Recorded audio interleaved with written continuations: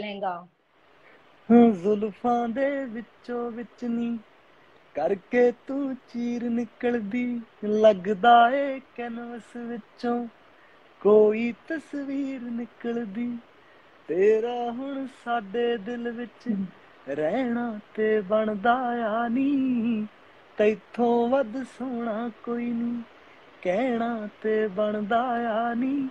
ਤੈਥੋਂ ਵੱਧ ਸੋਹਣਾ ਕੋਈ ਨਹੀਂ Love that How song. sweet is that? this is so double मतलब एक ही पैकेज में you will get this also on one hand he revealed कि आपको गुस्सा आता है ऑन द सेकंड हैंड उन्होंने ये गाना गा दिया तो बात तो एकदम वहीं पे लाइक like, मामला finish that is so sweet. But uh, and I know Gunam, I'm really sorry. I know you want to talk about the entertaining part of the movie, but since I've seen and I've been जितना मैं uh, मैंने conversation किया है, तो there are certain things जो मैं अपने आप को रोक नहीं सकती हूँ पूछने से. So again when it comes to शादी ठीक है सो लड़की बड़ी नहीं होनी चाहिए लड़की लड़के से लंबी नहीं होनी चाहिए लड़की काली नहीं होनी चाहिए लड़की मोटी नहीं होनी चाहिए सो ये सारी चीजें मतलब आप भी of course when you hear all these things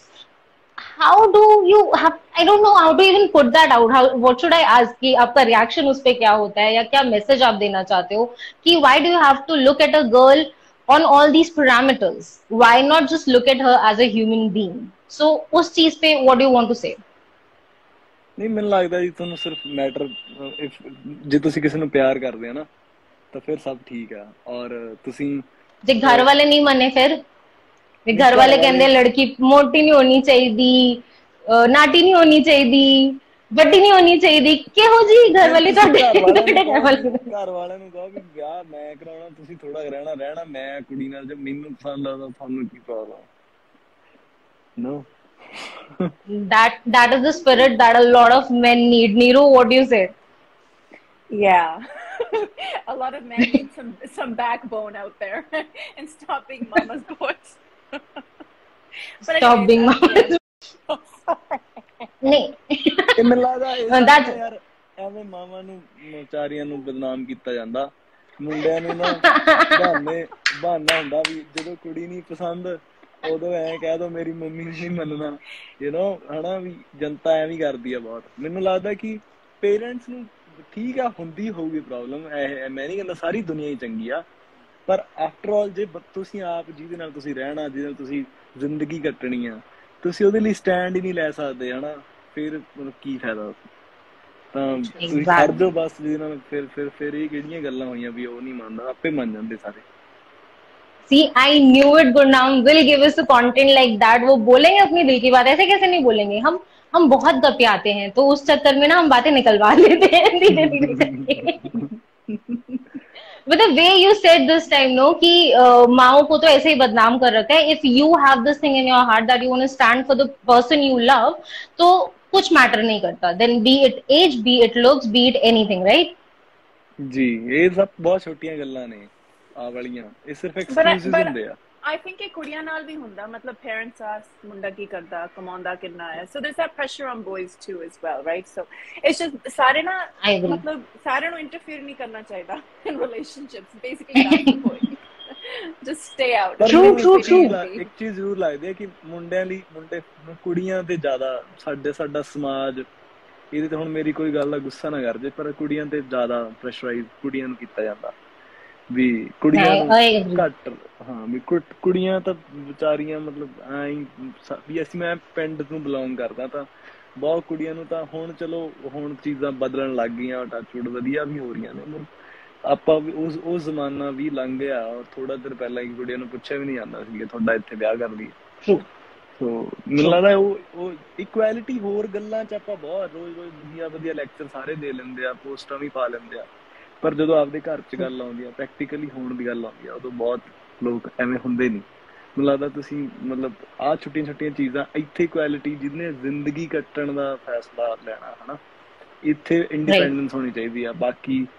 ਬਾਕੀ ਸਭ ਕੁਝ ਕੁੜੀਆਂ ਇੰਨੀਆਂ ਕੈਪੇਬਲ ਹੈਗੀਆਂ ਉਹ ਕੰਮ ਕਰਕੇ ਆਪਦੇ ਆਪ ਨੂੰ ਪ੍ਰੂਵ ਕਰ ਸਕਦੇ ਉਹ ਆਜ਼ਾਦੀ ਦੇਣੀ ਆ ਤਾਂ ਇੱਥੇ ਵੀ ਦਿਓ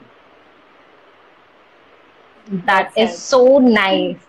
see this is what me and Neeru ma'am वो वेटिंग फॉर कि मतलब हमें फाइनली ना वो जो एक मैसेज की हम बात कर रहे थे ना from the beginning entertainment of calls but speak your heart out as well ਮੈਂ ਤੁਹਾਨੂੰ ਸਹੀ ਤੁਸੀਂ ਤੁਸੀਂ ਹੋਲਡ ਕਰ ਰਹੇ ਸੀ ਆਪਣੇ ਆਪ ਨੂੰ ਕਿ ਕੋਈ ਮੇਰੀ ਗੱਲ ਦਾ ਬੁਰਾ ਨਾ ਮੰਨੇ ਨਹੀਂ ਮੈਂ ਹੁਣ ਵੀ ਬਹੁਤ ਹੋਲਡ ਕੀਤਾ ਕਿ ਮੇਰੀ ਗੱਲ ਦਾ ਕੋਈ ਬੁਰਾ ਨਾ ਮੰਨੇ ਪਰ ਮੈਂ ਤੁਹਾਨੂੰ ਇੱਕ ਗੱਲ ਕਹਿਣੀ ਚਾਹੁੰਦਾ ਕਿ ਮੈਂ ਆਪ ਮੈਂ ਆਪ ਇੱਕ ਸਿਨੇਮਾ ਲਵਰ ਹਾਂ ਔਰ ਮੈਨੂੰ ਜੇ ਕੋਈ ਕਹਿ ਦੇ ਨਾ ਕਿ ਯਾਰ ਆ film it's on message topic ਔਰ ਔਰ ਇਹ ਹੈ ਨਹੀਂ ਯੋ ਮੈਂ ਮਤਲਬ ਮੈਂ ਕਹਿ ਰਿਹਾ ਕਿ ਉਹ ਗੱਲ ਆ ਉਸ ਬਹੁਤ ਵਧੀਆ ਤਰੀਕੇ ਨਾਲ ਦੱਸੀ ਗਈ ਆ ਮੈਂ ਉਹਦੇ ਤੋਂ ਬਿਲਕੁਲ ਐਗਰੀ ਆ ਪਰ ਇਹ ਤੁਹਾਨੂੰ ਮਤਲਬ ਸਿਨੇਮਾ ਚ ਲੋਕ ਫਨ ਕਰਨ ਜਾਂਦੇ ਆ ਹਨਾ ਇਟਸ ਲਾਈਕ ਜਿਵੇਂ ਜਿਵੇਂ ਜਿਵੇਂ Hollywood Bridget Bridget Jones Diary ਸੀ ਹੈ ਤਾਂ ਉਹਦੇ ਵਿੱਚ ਵੀ ਮੈਸੇਜ ਸੀ but is out and out entertainment like it was hilarious basically this is a Punjabi Bridget Jones Diary kind of ਮੈਂ That's going to be the title, I think, of my ਮੇਰੀਆਂ ਜਿੰਨੀਆਂ ਵੀ ਫਿਲਮਾਂ ਹੁਣ ਤੱਕ ਆਈਆਂ ਪਰਸਨਲੀ ਮੈਨੂੰ ਸਭ ਤੋਂ ਵੱਧ ਐਂਟਰਟੇਨਿੰਗ ਕੋਕਾ ਲੱਗਦੀ ਆ ਐਜ਼ ਐਨ ਆਡੀਅנס ਦੇਖ ਕੇ ਜਿੰਨੀਆਂ ਵੀ ਫਿਲਮਾਂ ਆਈਆਂ ਹਰ ਹਰ ਇੱਕ ਸੀਨ 'ਚ ਹਾਸਾ ਹਰ ਇੱਕ ਸੀਨ 'ਚ ਖੁਸ਼ੀ ਆ ਇਵਨ ਜਿੱਥੇ ਸੈਡਨੈਸ ਵੀ ਹੈ ਨਾ ਉੱਥੇ ਵੀ ਤੁਸੀਂ ਐਂਡ ਤੇ ਜਾ ਕੇ ਹੱਸਦੇ ਆ ਸੋ ਇੰਨੀ ਖੁਸ਼ੀਆਂ ਭਰੀ ਫਿਲਮ ਆ ਨਾ ਤੁਸੀਂ ਬਹੁਤ ਫੀਲ ਗੁੱਡ ਵਾਈਬ ਆ ਫਿਲਮ 'ਚ ਜਦ ਵੀ ਦੇਖੋਗੇ ਤੁਹਾਨੂੰ ਐ ਲੱਗੇ ਵਧੀਆ ਯਾਰ ਸਵਾਦ ਆ ਰਿਹਾ I, I hope we get the same feeling because if you're saying this, no, Gurnam, the last movie that I watched of you was Lake. And जब मैं थिएटर से बाहर निकली तो मेरे चेहरे पे एक स्माइल थी क्योंकि उसका क्लाइमेक्स वॉज वेरी रियलिस्टिक उसमें कुछ फेरी टेल नहीं दिखाया गया था बहुत realistic climax and that was the take away for me from that movie and I am hundred and ten percent sure कि from Coca also I have a take away I have a big smile on my face and I be like yes my Punjab, like I feel like because I'm a journalist who deals in Punjabi cinema, so I feel like my Punjabi cinema is growing. We are talking about different concepts. We are uh, not behind from Bollywood or Hollywood for that matter. कि हम कुछ नया लेके आ रहे हैं, substantial लेके आ रहे हैं. So that is true. I am hoping that for it. And Neeru ma'am, I can see कि आपकी नजरें बार बार ऐसे ऊपर जा रही है. तो आप आपको कोई सेट पे बुला रहा है कोई मेरी but nobody's calling me. Sorry, I start, I start, you know, I'm, I multitask, so मेरे दिमाग में सौ चीजें चल शायद दोनों कर रहे बारी सोच I'm so sorry. I'm, um, no, but I'm totally with you guys. Huh.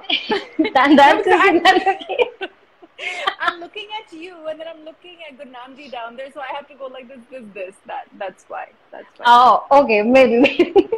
Now, talking about multitasking, Gurnam, you have worked with her as a actor also, and she has been your producer as well. तो वो दोनों roles अगर आपको separately बोलना हो आई ये smile से मुझे लग रहा है वो काफी कुछ कहना है So just go ahead.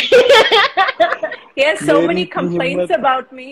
मतलब मैं एज एन एक्टर और प्रोड्यूसर As an actor क्योंकि मैं rehearsals नहीं करती. ਇਹਨਾਂ ਨੂੰ ਉਸ ਗੱਲ ਦਾ ਵੀ ਗੁੱਸਾ ਸੀ ਪਹਿਲਾਂ ਜਦੋਂ ਅਸੀਂ ਕੰਮ ਸ਼ੁਰੂ ਕੀਤਾ ਸੀ ਹੀ ਲਾਈਕ ਮੈਂ ਕੰਨ ਨਾਲ ਰਿਹਰਸਲ ਕਰ ਰਿਹਾ ਰਮਾਈ like, yeah, and ਹਾਂ ਤੁਸੀਂ ਦੱਸੋ ਆਈ ਐਮ ਵੈਰੀ ਪੰਕਚੁਅਲ ਆਮ ਵੈਰੀ ਚਲੋ ਵੈਰੀ ਪੰਕਚੁਅਲ ਕੋਈ ਲੇਟ ਕੋਈ ਨਹੀਂ ਹੁੰਦਾ ਲੇਟ ਤਾਂ ਕੋਈ ਨਹੀਂ ਹੁੰਦਾ ਸੀ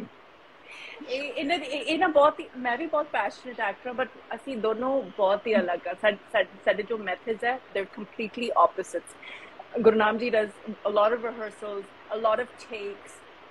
ਮੇਰਾ ਕੀ ਹੁੰਦਾ ਕਿ ਮੇਰਾ ਫਰਸਟ ਜਾਂ ਸੈਕੰਡ ਠੀਕ ਹੁੰਦਾ ਬਿਕਾਜ਼ ਮੈਂ ਮੈਂ ਰਿਐਕਟ ਕਰਦੀ ਹਾਂ ਯਾਨ ਵੈਰੀ ਸਪੌਂਟੇਨੀਅਸ ਮੈਨੂੰ ਮੈਂ ਰਿਹਰਸ ਨਹੀਂ ਕਰ ਸਕਦੀ but we very different but somehow we I think we created magic. I don't know, but I think we you she has she has played a very safe card. वो अपने मुंह से ही कह रही हैं कि मैं रिहर्सल ज्यादा नहीं कर रही थी तो ये उनको मुझसे परेशानी हो सके है यू टेल मी मेरे को सुननी है आपकी बात नहीं आई सी एक्चुअली के नहीं ਉਹਦੇ ਚ ਨਾ ਇਹਦੇ ਚ ਵੈਸੇ ਕਿਸੇ ਦੀ ਕੋਈ ਗਲਤੀ ਨਹੀਂ ਗਈ ਹਨਾ ਐਜ਼ ਅ ਪ੍ਰੋਡਿਊਸਰ ਮੈਂ ਕਹਾਂ ਤਾਂ ਅਸੀਂ ਸਾਰੇ ਬਹੁਤ ਸਮਝਦਾਰ ਐਕਟਰ ਆ ਮੈਂ ਵੀ ਮੈਂ ਵੀ ਕੋਈ ਇਹਨਾਂ ਨੂੰ ਤੰਗ ਨਹੀਂ ਕੀਤਾ ਬਹੁਤ ਆ ਮੇਰੀਆਂ ਡਿਮਾਂਡਾਂ ਹੀ ਹੈ ਨਹੀਂ ਆ ਸੋ ਪ੍ਰੋਡਿਊਸਰਾਂ ਨੇ Satoshi. You Neeru wants to say something ਮਿਲਦਾ ਅੱਜ ਦੇ ਲਾਈਵ ਸੈਸ਼ਨ 'ਚ ਕੁਝ ਬਹੁਤ ਸਾਰੀ ਤੁਹਾਨੂੰ ਨਿਊਜ਼ਸ ਮਿਲ ਜਾਣੀਆਂ ਬਹੁਤ ਸਾਰੇ ਟਾਈਟਲਸ ਮਿਲ ਜਾਣੇ ਆ